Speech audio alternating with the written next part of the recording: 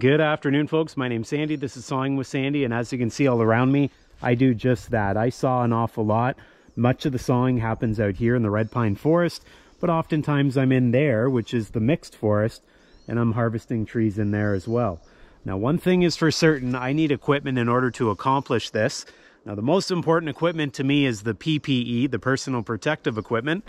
I want to make sure I'm in one piece when the job's done. The second most important piece of equipment is this right here, my tractor. Now, this is not the perfect piece of equipment for the forest. I would much rather have a tree harvester, maybe a feller buncher, maybe a forwarder, and a skidder. But I'm missing one important thing that allows me to get those, the moolah. So I am with a tractor. Now, this tractor isn't cheap, let's, uh, let's be honest. But what it is, is it allows me to fill a variety of jobs both loader work and PTO work. And so this is going to be used not only out here in the forest, but it gets used for all kinds of other chores. And that's the reason I've got it. Now, if you have one piece of equipment and it's a tractor and you're going to use it in the forest, I would suggest you outfit it with a few important things. That's what I'm going to talk about today. With those few important things, you can take a farm tractor and make it relatively useful out here in the bush. Here we go.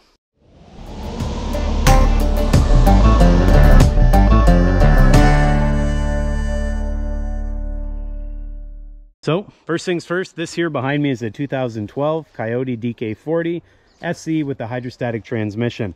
Now this tractor, I like it not only because it has a cab to stay comfortable, also keeps the snow and sleet and rain off me, but also because it's a relatively large frame for this horsepower tractor. Having the larger frame gives it a bit more weight, and it's kind of nice, especially when the terrain is uneven out here, and uh, also is nice when dealing with heavy logs. Now at the back of the tractor, the tires are filled.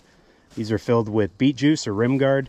And you can see here we have some steel studded Trygg tire chains. So these are nice as well, not only in the winter, but also uh, in sort of the shoulder seasons when things are muddy. Now just before we leave talking about the cab, I know many of you will say a cab does not belong in the woods. Well, my comfort belongs in the woods and I like having the air conditioning. I like having the heat, the radio and everything else.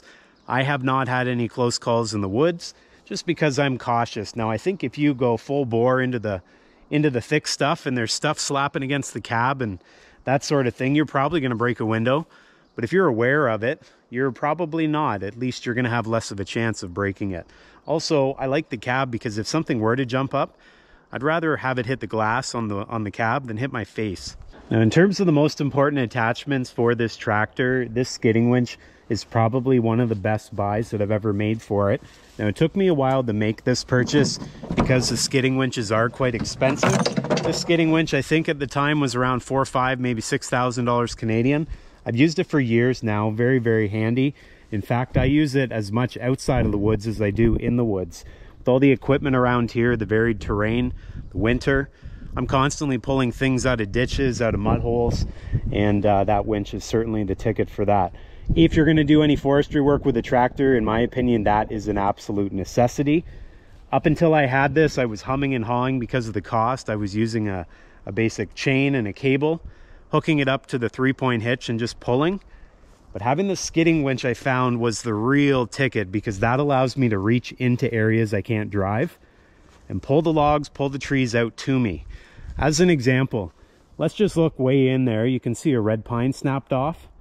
Now, up until I had the skidding winch, there'd be no way for me to get that tree without a really long chain or long cable. But then what I would have to do is I'd have to drive about 10 feet because that's the only space I have. And then I would have to re-rig and then drive forward again, re-rig, drive forward again, re-rig. Unless, of course, you have a pulley and you have some way of maneuvering it and everything else. Anyways, it took a real long time. It certainly wasn't fun. So nine times out of 10, I would just say forget it.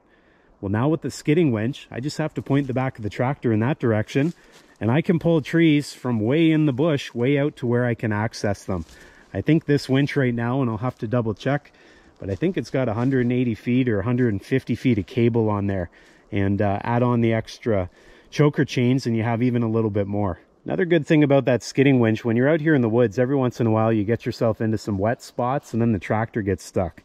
Now I can try to dig myself out by pushing backwards with the loader, but that doesn't often work, especially if you're in tight. Whereas with this winch on it, this winch can pull way more than the weight of this tractor. And so you can get yourself out of some sticky situations. Now on that point about skidding winches, one thing that I would strongly suggest you get if you don't have one already is a directional pulley. But you're certainly going to need one so that you can change the direction of the pull. If I were to use this example again, that tree, if I don't have a clear shot with the cable, a straight line, I will need to have some sort of a pulley to redirect the cable. And that's where that comes in handy. Now with that, you will also need a strap. The strap and the pulley go hand in hand. And usually with your skidding winches, you're gonna get some sort of choker chains. I like this style of choker chain. It, um, it allows for the chain to slide nicely. See how the chain can slide nicely? But the chain won't pop out easily. And so I like that style of choker chain and you certainly want a few of them for your for your setup. Now one of the reasons I like this particular Wallenstein skidding winch is because of small things like this. Uh, this allows me to put a trailer hitch in. Uh, that's quite nice because sometimes I'm towing a trailer and I don't always want to take the skidding winch off just to pull the trailer a few feet.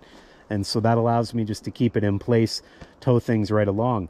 I've also seen before where people will have sort of like a log trailer, but not a log trailer with a boom and a grapple, just a standard almost utility log trailer. And then they use the winch to pull the logs up onto that trailer. I think that could be something uh, that I look into as well, having that type of trailer. They appear to be very handy. So having the ability to tow a trailer right behind the skidding winch is quite nice. One of the reasons I like skidding winches so much is you can simply pull the cable out by hand.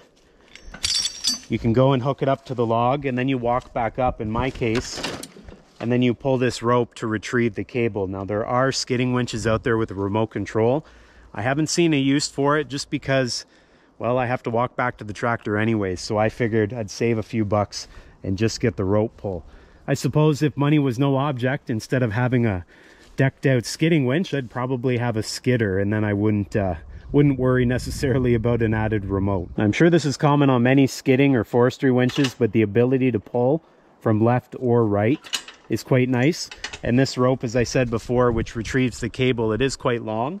And so when I'm pulling it, I'm way out here as opposed to right where the cable is coming back into the winch. Now this particular winch, it also has the ability to pull from up here, or I have the adjustability and I can run the cable down here. It's nice being able to pull down low especially if I'm on a bit of a hill.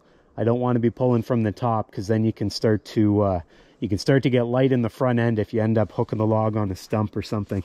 Just having a look around the back of the winch here, you can see the PTO shaft coming in and it's lined up here with the tractor and then you can see the top link and you've got this little guard up here as well. Now another thing that if you're brand new to the channel you may have never seen before but maybe you've asked about it's this nose cone. This nose cone I've had for a number of years as well. I don't use it all the time, but in certain circumstances, it's very valuable. Getting back to the same example, if I ran the winch line through here and I hooked onto a log and tried to pull it through a narrow spot, the likelihood of that log getting hung up on an existing tree or stump is high. What I can do is I can run the winch line through that opening and then obviously the logs will sit here. You can haul as many logs as what'll fit in here. This will allow for the logs to maneuver around objects. Very handy, especially when I'm back at the tractor, pulling that rope, retrieving the cable, because if a log's deep in there and I'm pulling it, sometimes I don't see that it's hung up and I'll notice because I'll feel the resistance.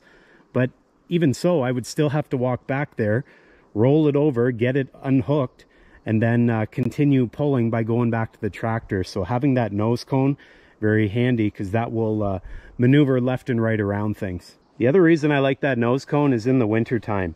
In the wintertime, if you're hauling logs, sometimes, especially where I live when the snow gets real deep, logs can sort of sink down or they get hung up more often because there's debris on the ground under the snow you don't see.